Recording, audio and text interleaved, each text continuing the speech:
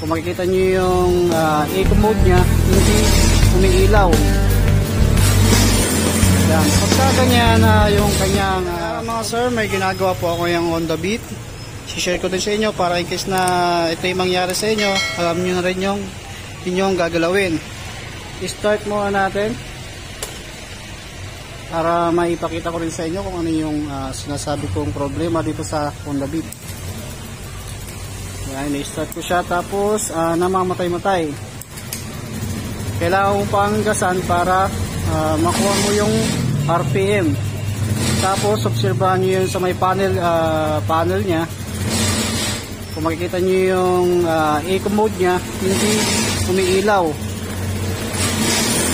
Yan. Pagka ganyan na uh, yung kanyang uh, tachometer, pagka tumaas ng ganyan, tapos bababa yung tachometer niya, uh, matic po na iilaw yung yung eco mode. Dito sa motor na to ayaw umikot yung kanyang uh, ayaw umilaw yung eco mode nya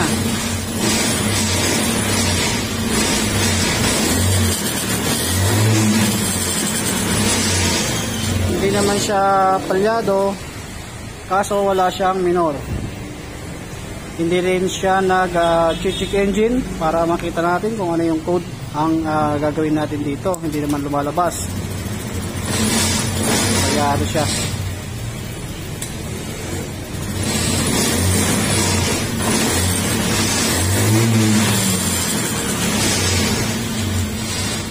Hindi lumalabas yung eco mode nya okay kaya kung mapapansin nyo binaklas ko na yung upuan nya at uh, dito kasi tayo uh, titingin ng problema ibig sabihin pagka once na nag, uh, naging ganyan yung motor nyo isa lang po yung inyong gagawin para matrace nyo yung uh, problema ng motor. Ilawan ko muna. Tapos start natin. I-start ko muna. Tapos uh, tatanggalin natin yung socket sa may ECU uh, ECU sa ano pala? Uh, TPS para hindi mamatay yung motor hawakan nyo yung throttle ng konti para ma mag stable yung andar at uh, matik natin dun sa mismong panel. Ito mga sir inugot ko yung sakit sa may uh, TPS at uh, nag stable yung andar ng makina. Tapos pupunta naman tayo sa may uh, panel para may pakita ko sa inyo na yung sira dito ay uh, ito lang. Ito yung gagawin nya ay punta naman tayo panel. Tapos si Popol Repoli siya. Asahan nyo po yan ha pagka inugot nyo yung uh, sakit ng TPS natin uh, matik po yan na magbe-blink yung uh, is, uh, po natin yung check engine. Tapos try natin pangatin yung tachometer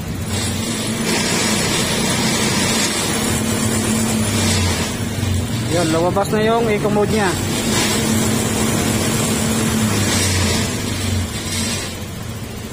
kasi pagka hindi lumalabas yung eco mode nya ibig sabihin uh, malakas siyang ano, magbigay ng gas. Kumbaga hindi nakamix yung uh, gasolina na binibigay.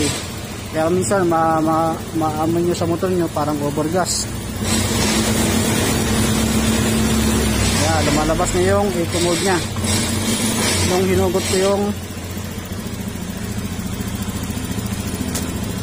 yung uh, socket sensor sa may TPS okay ganyan pagka nag troubleshoot kayo once na hinugot nyo yan at uh, tumino yung under ng motor nyo ibig sabihin may problema yung TPS nyo pagka nag-check kayo ng motor nyo uh, step by step muna. Kaya gayahin nyo lang to para maka uh, alam nyo kagad kung ano yung inyong bibilin parts. Tapos gagawin natin dyan magta-try ako ng isang uh, TPS ito, tatry natin yan. Tatanggalin. Tapos palitan natin.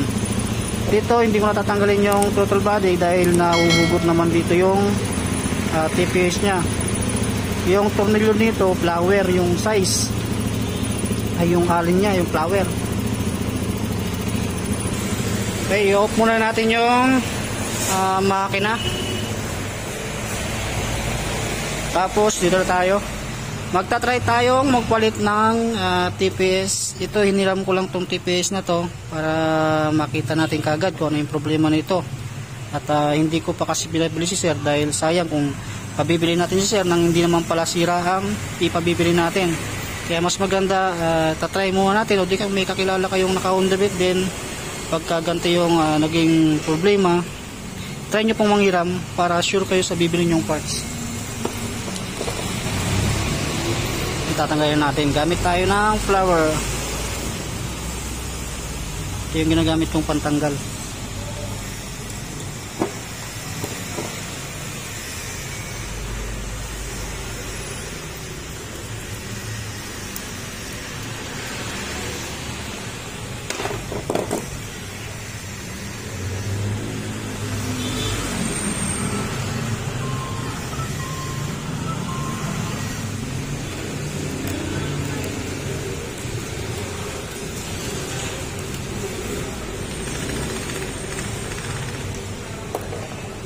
tatagalin natin yung kanyang tornilyo.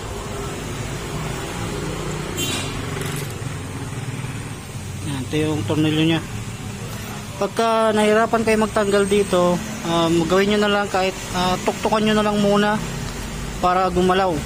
Kasi minsan uh, may mga uh, hindi kasi pare-pares minsan may mga matitigas na ganto na mahirap tanggalin kapag ka naguhugot naman kayo ng TPS at uh, tingnan nyo mabuti baka hindi nyo mapansin tumalsik yung o-ring.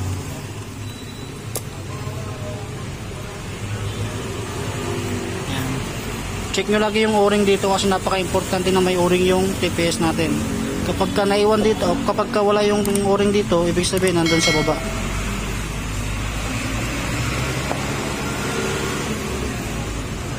tanggalin muna natin yung o-ring nya na, ito yung o-ring nya napaka-importante na may o-ring yung uh, TPS natin.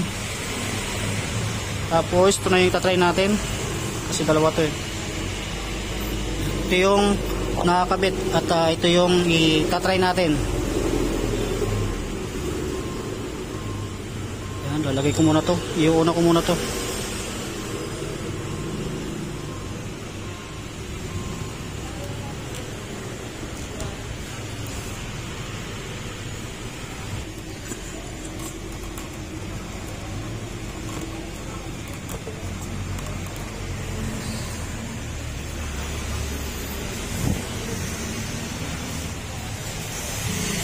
Tapos lalagay na natin yung uh, TPS nya. Kapag ka naglalagay kayo nito, pinaka mainam na lagyan nyo ng grasa dito para hindi masira yung o-ring. Yan, ganito yung gawin nyo. Lagyan nyo ng grasa para swabe yung pagpasok ng uh, TPS natin dun sa may throttle body na may o-ring.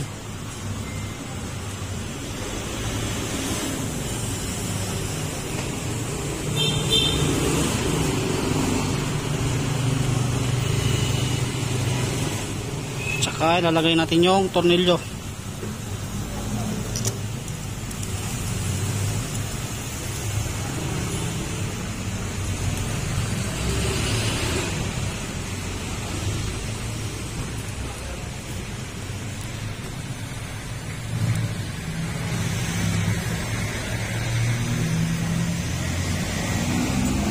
dapat may tapat natin yung tornilyo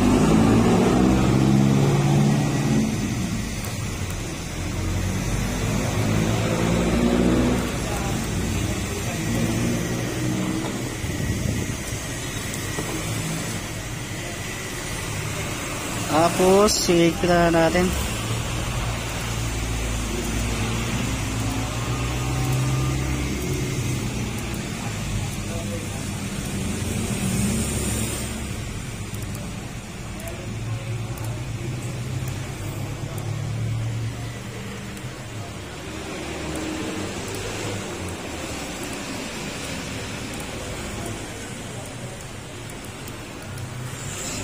Ayan, pagtapos natin nahigpitan na yung tornilyo, balik na natin yung uh, socket ng TPS.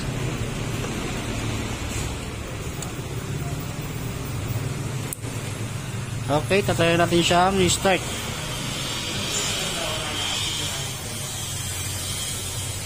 I-on natin.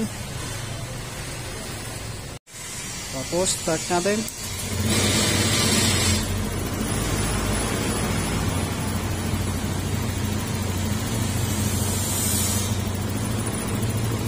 Tapos, ah, acceleration natin.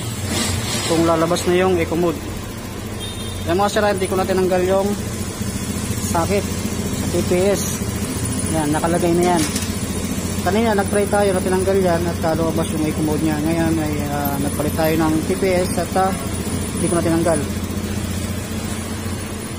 Try natin ah, acceleration. Yan, lumalabas na yung eco mode niya at ah, hindi na siya namamatay-matay, hindi na siya palyado. Mas smooth na uli yung RPM ng motor natin.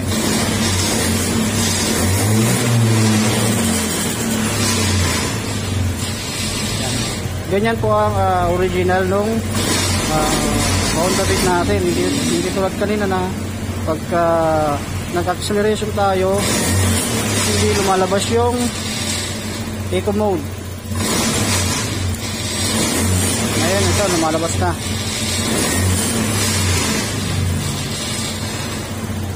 Okay. Yan, bali mataas yung minor niya, adjust natin ng konti.